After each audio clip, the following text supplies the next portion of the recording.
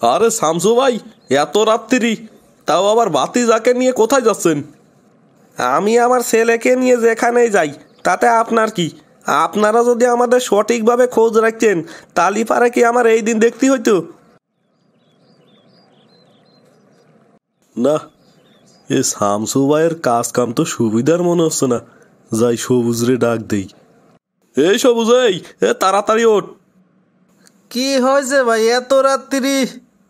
শামসু ভাই তার ছেলেকে নিয়ে কোথায় যেন যাচ্ছে সে তার ছেলেকে আবার মারিয়ে না ফেলে।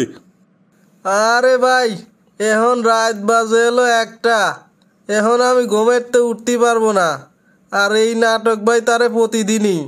আমার এখন ঘুমাতে দেন তো আর আপনিও যা ঘুমান। আচ্ছা তুই ঘুমা আমি গিয়ে দেখতেছি। আরে শাহেদ বাবাজি যে এত রাতে কোথায় যাচ্ছ? আরে জসিম চাচা যে আমার প্রতিবেশী শামসু ভাই আছে না তার ছেলেকে নিয়ে একটু আগে কোথায় যেন নিয়ে গেল সে অনেক রাগিয়েছিল অভাবের কারণে সে আবার তার ছেলেকে মারিয়ে না ফেলে। বলো কি বাবা কোথায় গেল? তাড়াতাড়ি চলো তো দেখি। আচ্ছা চলেন দেখি কোথায় গেল। বাবা কলাটা অনেক মজা। নে বাবা এই আপেলটার অর্ধেক ভালো আছে।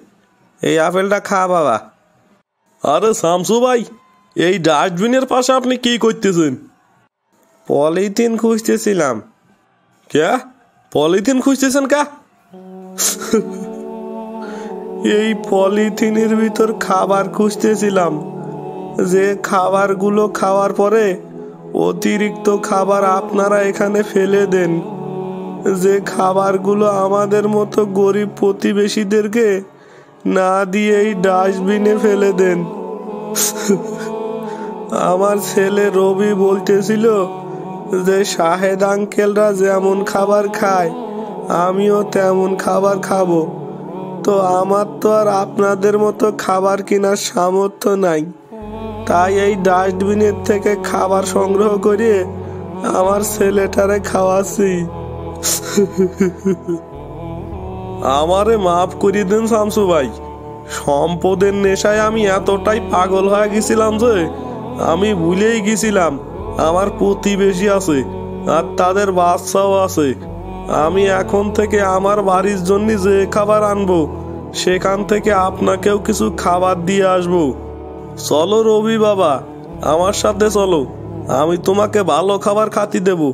এই নোংরা পচা ফল তোমারে খাতি হবি নে। আপনি সত্যি বলতেছেন সাহেব চাচা? হ্যাঁ বাবা আমি সত্যি বলতেছি চলো।